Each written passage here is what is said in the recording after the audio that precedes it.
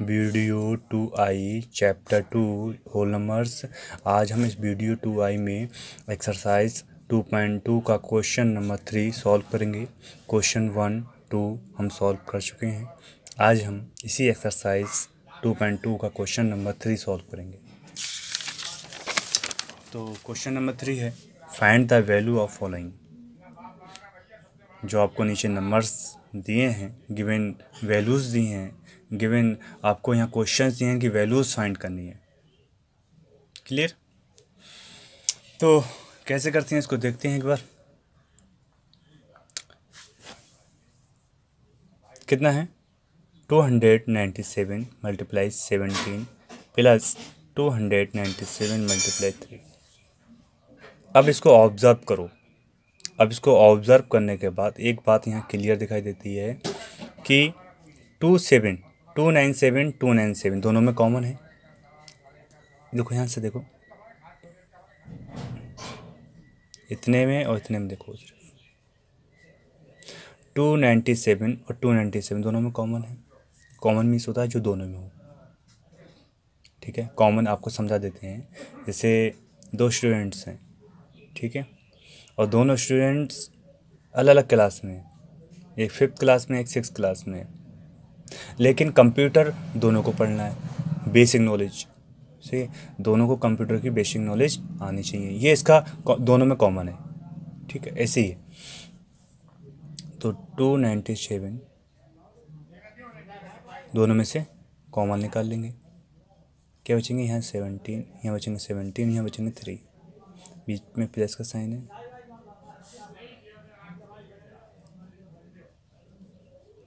ये होंगे third twenty और जब इसके से मल्टीप्लाई करेंगे तो कितना? ज़ीरो एक तो ज़ीरो ही लगेगा और टू की करेंगे सेवन से फोर्टीन टू की नाइन से करेंगे एट्टीन और one nineteen one two two जो फोर फाइव ये इसका फाइनल आंसर है। इस तरह से करना है इसको, ठीक? ये इसका फाइनल आंसर है। इसको आंसर लिखो। ऐसे। समझ गए आप लोग? ठीक है? तो हमने क्या करा? Two ninety seven two hundred ninety seven दोनों में से कॉमन लिए।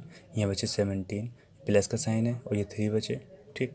और टू नाइन्टी सेवन ऐसे लिख दिया मल्टीप्लाई अब थ्री सेवनटीन और थ्री ट्वेंटी ट्वेंटी की मल्टीप्लाई करेंगे इससे? तो कितना आएगा? Five thousand nine hundred forty ठीक इस तरह से करना कोई डॉट कोई डॉट नहीं होना चाहिए, मैं समझता हूँ।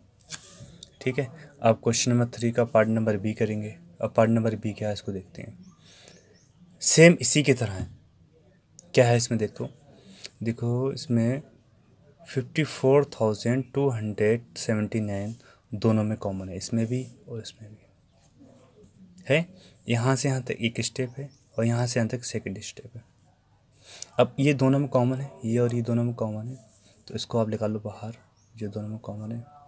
यही इसमें समझदारी है। और यहीं आपको इसी क्या आपके नंबर है। क्या बचा नाइन्टी टू बचा, प्लस है, प्लस लगाओ एट।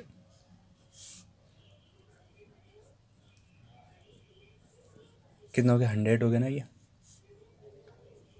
अब जब किसी भी नंबर की multiply ten hundred one thousand से करते हैं तो उसमें कुछ नहीं करते हैं। आप ये तो जानते हैं किसी नंबर की मल्टीप्लाई वन से करते हैं तो उस नंबर सेम आता है कुछ नंबर पर कोई फ़र्क नहीं पड़ता। तो सबसे पहले ये आप नंबर लिखें और टू ज़ीरो है टू ज़ीरो आप यहाँ ऐड कर दो, बस इतना करना है। ये इसकी मल्टीप्लाई हुई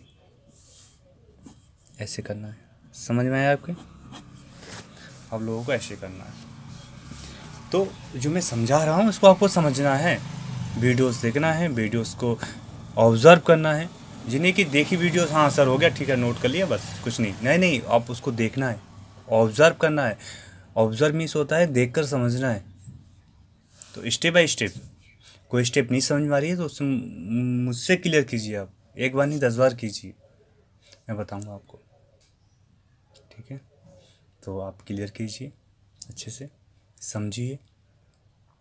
कोई क्वेश्चंस हो, कोई डाउट हो तो मुझे बताइए। वीडियो ज़रूर देखिए। ठीक है? अच्छे से देखिए।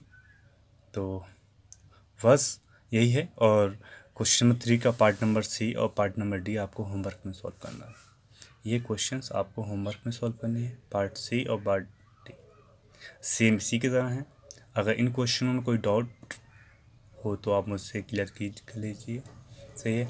आप मेरे व्हाट्सअप पे जाइए। व्हाट्सअप पे लिखिए सर ये क्वेश्चन नहीं समझ में आ रहा है, मैं व्हाट्सअप पर ही आपको समझा दूँगा। या बाय कॉलिंग थ्रू जैसे भी आपको लगे, ठीक है? सुटेबल लगे, आप समझ सकते हो मुझसे बता सकता हूँ, कोई उसमें वो नहीं है इशू नहीं है, ठीक है? तो बस यही है, अच्छे से स्टडी कीजिए, पढ़िए, समझिए चीज़ों को, देखिए, ठीक है? जो भी टीचर्स भेज रहे हैं वर्क चाहे वो साइंस हो मैथ हो इन्वायरमेंट हो कंप्यूटर हो इंग्लिश हो एनी वन किसी का भी तो अच्छे से पढ़िए, ठीक है? मेरी कोशिश ये है कि मैथ में कोई डाउट नहीं होना चाहिए आपको। तो बस यही है तो आज की वीडियो में बस यही थैंक यू बाय